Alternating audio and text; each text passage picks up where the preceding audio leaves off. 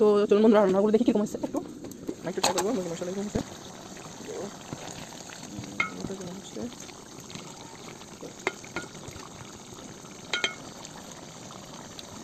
মাসাল্লাহ তো আমি হালকা দেখে দিব। তো হচ্ছে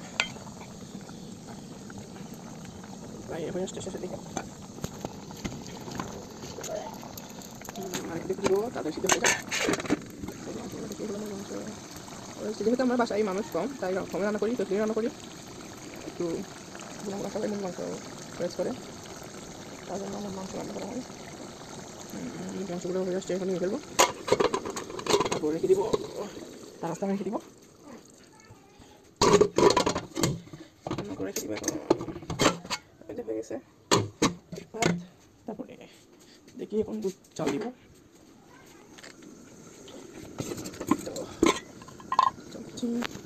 তারপরে বেগুনগুলো নিয়ে ফেলব। আসছে প্রায় সাথে থেকে।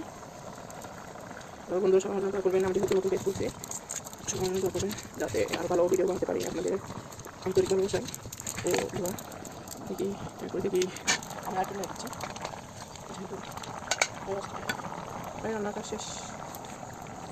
হয়ে যাবে। আচ্ছা ওকে বন্ধুরা, সবাই ভালো থাকবেন। আল্লাহ হাফেজ।